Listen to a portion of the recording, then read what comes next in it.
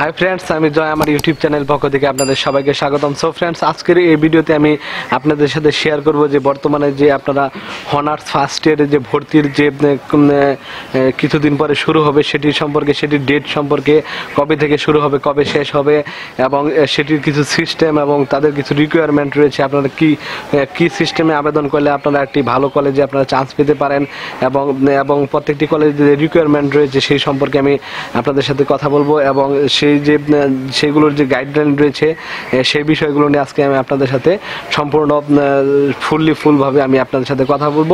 So friends যারা আমার চ্যানেলটিকে এখন পর্যন্ত সাবস্ক্রাইব করেনি প্লিজ সাবস্ক্রাইব করে দিবেন এবং পাশে থাকা বেলাইকনটিতে প্রেস করে দেবেন। ফ্রেন্ডস চলুন ভিডিওটি শুরু করা যাক।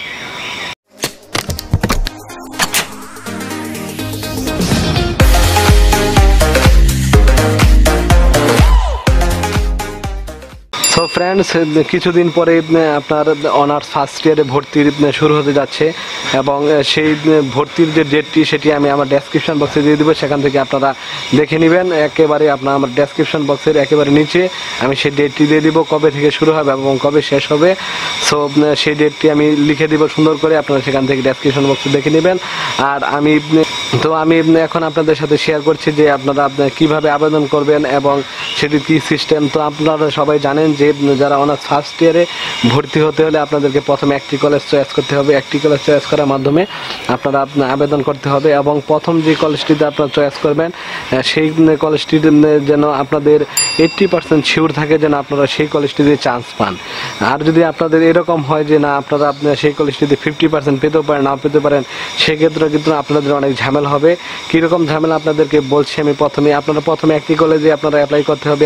একটি কলেজে যদি আপনারা চান্স না হয়, পরবর্তীতে কিন্তু আপনাদেরকে পাঁচটি কলেজে পরবর্তীতে যে স্টেপ রয়েছে, সেই স্টেপে আপনাদের পাঁচটি কলেজে অ্যাপ্লাই করতে হবে। তখন কিন্তু প্রত্যেকটি কলেজে টোয়েন্টি ফাইভ পার্সেন্ট করে মিনিমাম টোয়েন্টি ফাইভ পার্সেন্ট আপনাদের সিট সেখানে থাকবে।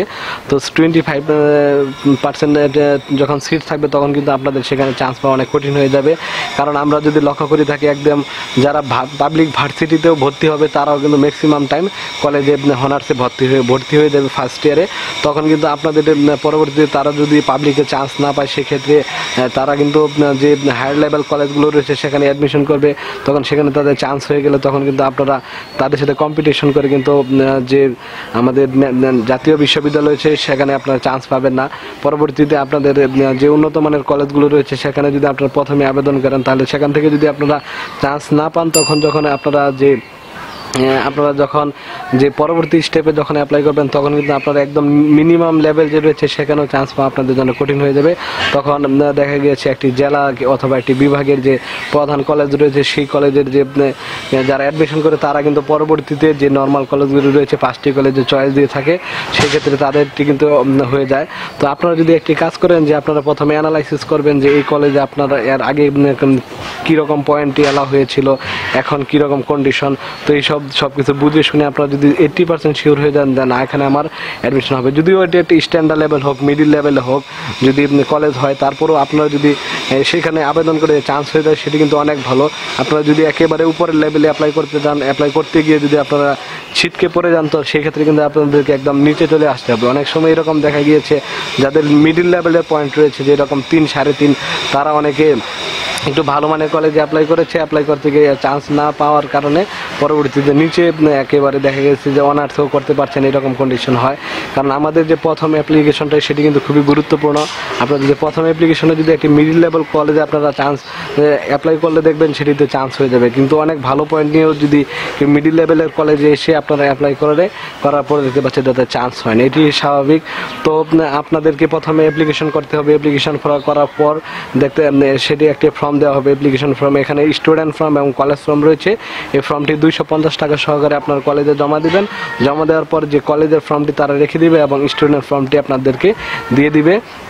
তারপরে দেখা গেছে এখানে দুইশো পঞ্চাশ টাকা সাথে নিয়ে যেতে হবে। তার পরবর্তীতে আপনাদের যখন অ্যালাউ হয়ে যায়, আপনাদের যদি মেরিট হয়ে যায়, সেক্ষেত্রে আপনাদেরকে ভর্তি নিশ্চয়ন করতে হবে। আর যদি আপনাদের অ্যালাউ না হন সেক্ষেত্রে আপনাদেরকে পরবর্তীতে আবেদন করতে হবে। তারপর আমরা যদি একটি তাদের যে গাইডলাইন রয়েছে যে অনার্স করতে গেলে আপনার যে মিনিমাম পয়েন্ট রয়েছে, সেই রিকোয়ারমেন্ট অনুযায়ী আমি আপনাদেরকে যে জানিয়ে দিচ্ছি- দিচ্ছি, খুবই গুরুত্বপূর্ণ বিষয়। আপনার যারা মানবিক শাখা রয়েছেন, তাদেরকে অবশ্যই এসএসসিতে টু পয়েন্ট ফাইভ জিরো থাকতে হবে এবং এইচএসিতেও টু পয়েন্ট ফাইভ জিরো থাকতে হবে। আদার্স ওয়েজ আপনারা অনার্স করতে পারবেন না, আপনাদেরকে ডিগ্রি করতে হবে। যদি আপনাদের এসএসসিতে টু পয়েন্ট ফাইভ জিরো থাকে এবং এইচএসিতেও টু পয়েন্ট ফাইভ জিরো থাকে টোটাল ফাইভ পয়েন্ট যদি থাকে মিনিমাম এই পয়েন্টে আপনারা মানবিক শাখায় অনার্স করতে পারবেন এবং আপনি বিজ্ঞান এবং আমি যদি বিজ্ঞান এবং কম- কমার্সের কথা যদি বলি, সেই ক্ষেত্রে বিজ্ঞান শাখার থ্রি পয়েন্ট লাগবে এসএসসিতে এবং যে মানবিক শাখার রাখবে, মানবিক শাখার টু পয়েন্ট আর বিজ্ঞান এবং ব্যবসা শিক্ষা শাখার হচ্ছে আপনার টু পয়েন্ট ফাইভ জিরো লাগবে হচ্ছে আপনার এসিসিতে সো যারা বিজ্ঞান এবং ব্যবসা শিক্ষা শাখা রয়েছেন, তাদের জন্য এসিসিতে লাগবে টু পয়েন্ট ফাইভ জিরো এবং যারা মানবিক শাখা রয়েছে, তাদেরও লাগবে টু পয়েন্ট ফাইভ জিরো এসিসিতে এবং এসএসসিতে লাগবে three two point five zero লাগবে মানবিক শাখার এবং যারা বিজ্ঞান এবং মানে এবং ব্যবসা শিক্ষা শাখা রয়েছেন, তাদের লাগবে থ্রি পয়েন্ট তাহলে আপনাদের, যারা মানবিক শাখার দুটিতে two point five zero two point five zero লাগবে এবং যারা ব্যবসা অথবা বিজ্ঞান শাখা রয়েছেন, তাদের এসএসসিতে লাগবে থ্রি পয়েন্ট এবং মিনিমাম রিকোয়ারমেন্ট হচ্ছে থ্রি পয়েন্ট এবং যারা এসিসিতে রয়েছেন, তারা লাগবে টু পয়েন্ট ফাইভ জিরো তো এই এখানে মানবিক ব্যবসা শিক্ষা এবং বিজ্ঞান শাখার জন্য টোটাল সাড়ে পাঁচ পয়েন্ট লাগতেছে five point five zero so আর যারা আণবিক শাখা রয়েছেন, তাদের জন্য দুটি মিলিয়ে ফাইভ পয়েন্ট লাগবে। তো আপনাদের এই পয়েন্ট হলে আপনারা অনার্সের জন্য আপনারা অ্যাডমিশন করতে পারবেন এবং সেক্ষেত্রে আপনারা অনার্স করতে পারবেন।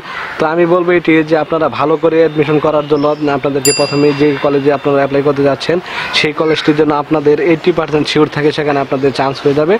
তো সেই ক্ষেত্রে আপনারা কিন্তু একটি ভালো কলেজ আপনারা চান্স নিতে পারবেন এবং আপনাদের অনার্স অবশ্যই কর- করতে পারবেন। সে, আর যদি আপনারা একটু আরও ভালো কলেজে অ্যাপ্লিকেশন করতে যান অ্যাডমিশন করতে যান, সেই ক্ষেত্রে কিন্তু যদি আপনাদের পরে অ্যালাউ না হয়, সেক্ষেত্রে কিন্তু আপনারা এরকম হতে পারে আপনারা অনার্স নাও করতে পারেন অথবা আপনাদেরকে একদম নিচের লেভেলে একটি কলেজে আপনাদের অ্যাডমিশন হতে পারে। সো আপনারা খুবই বুঝে শুনে এই কাজগুলো করবেন। সো ফ্রেন্ডস যারা আমার চ্যানেলটিকে এখনও সাবস্ক্রাইব করেন প্লিজ সাবস্ক্রাইব করে দেবেন এবং পাশে থাকা বেলাগুলিতে প্রেস করে দেবেন আর এই ভিডিওটি শেয়ার কমেন্ট লাইক করে দেবেন। সো ফ্রেন্ডস আজ এই পর্যন্তই। Bye bye